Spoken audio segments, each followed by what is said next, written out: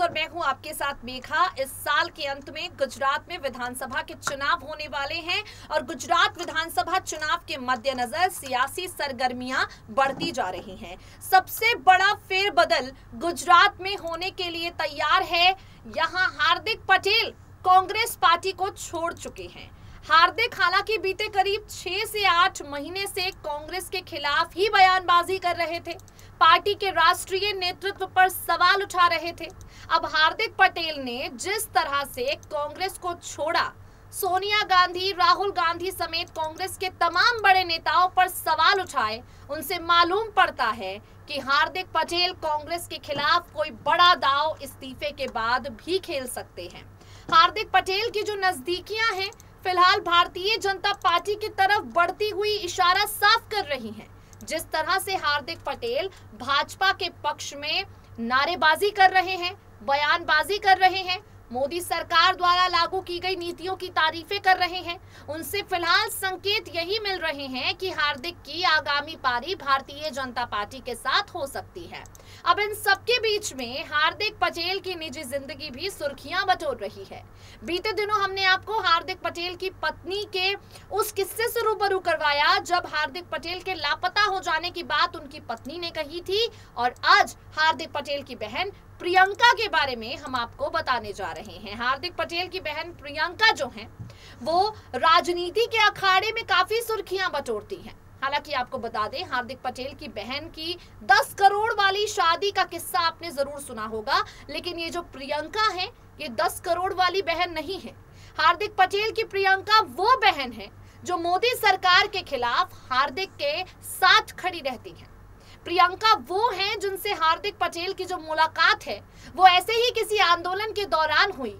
आंदोलन तो खत्म हो गया, लेकिन प्रियंका और हार्दिक पटेल का भाई बहन वाला रिश्ता आज भी जारी है और जो प्रियंका है, पीएम मोदी के साथ इनका खास कनेक्शन है।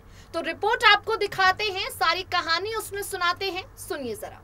कांग्रेस पार्टी से इस्तीफा दे देने के बाद हार्दिक पटेल किसी भी वक्त भारतीय जनता पार्टी के साथ जुड़ जाने का ऐलान कर सकते हैं।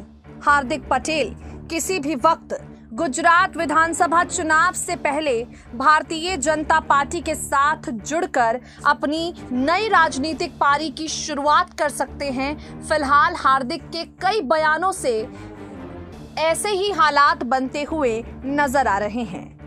आज इस खास रिपोर्ट में हम आपको हार्दिक पटेल की बहन प्रियंका के बारे में कई खास बातें बताएँगे। आपको बता दें, प्रियंका पटेल ने हार्दिक पटेल के आंदोलनों में हमेशा उनका साथ दिया है। हालाँकि ये बात शायद ही आप सब लोग जानते हो कि हार्दिक पटेल की असली बहन का नाम मोनिका पटेल है, लेकिन राजनीति के अखाड़े में जो बहन हार्दिक का साथ हमेशा देती रही है, उनका नाम है प्रियंका, जो हार्दिक पटेल की मुंहबोली बहन है। वो करीब दो से चार साल पहले वडोदरा के बाहर बने गाँव वरनामा में हार्दिक से मिली थी। तब से ही हार्दिक पटेल को राखी बांधती रहती हैं। हार्दिक पटेल की बहन प्रियंका का प्रधानमंत्री नरेंद्र मोदी के साथ एक बेहद खास रिश्ता है। दरअसल एक वक्त पर प्रियंका पीएम मोदी की तारीफों के पुल बांधती थी। लेकिन जब से हार्दिक पटेल के आंदोलनों का वो हिस्सा बनी, पीएम मोदी के खिलाफ बयानबाजी करती हैं। अपने भाई हार्दिक को लेकर प्रियंका कहती हैं हार्दिक की सोच, हिम्मत और उनकी पाटीदार युवाओं को लेकर लड़ी गई लड़ाई से बहुत ज़्यादा प्रभावित है। ये प्रेरणादायक है कि हार्दी ने इतनी सी छोटी उम्र में इतनी बड़ी चुनौती को संभाला है। मैं अपने भाई हार्दिक के आंदोलन में उनके साथ हूँ। ये अभियान युवाओं को सुरक्षित रखने के लिए युवाओं के हित में है। आपको बता दें, प्रियंका ने जब हार्दिक पटेल के साथ उनकी राजनीति को संभालने का फैसला किया, उस वक्त वो बीएससी फाइनल ईयर में रहीं और राज्य में पाटीदार आंदोलन में हिस्सा उन्होंने लगातार बार बार लिया है। प्रियंका, प्रधानमंत्री नरेंद्र मोदी के खिलाफ भी बयानबाजी अक्सर करती रहती हैं। हार्दिक पटेल को राखी बांधकर वो चर्चा में आई थी।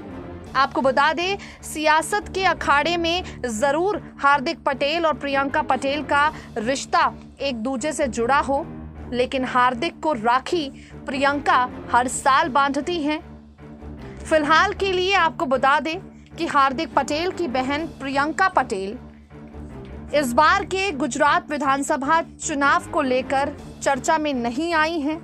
हार्दिक पटेल की राजनीति को लेकर भी उन्होंने फ़िलहाल किसी तरह का कोई बयान नहीं दिया है।